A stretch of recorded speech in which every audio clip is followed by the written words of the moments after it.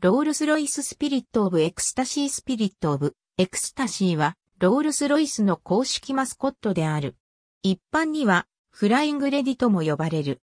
1910年頃自動車雑誌、ザカーの編集者であったジョン・ダグラス・スコット・モンタギューが、自分のロールスロイスシルバーゴーストの高性能にふさわしいマスコットを装着しようと考え、友人の彫刻家、チャールズ・ロビンソン・サイクスに制作を依頼した。サイクスは過去に手掛けていたシルバーファンシーという作品をもとにイメージを膨らませ、モンタギューの秘書もしくは、モンタギューの父の秘書であったエレノア・ベラスコ・ソーントンをモデルとし、ニーケーに似た女性のマスコットを完成させ、スピリット・オブ・エクスタシーと名付けた。その後、モンタギューとクロード・ジョンソンの話し合いの結果、1911年、もしくは1912年からロールス・ロイスの正式なマスコットとなった。ありがとうございます。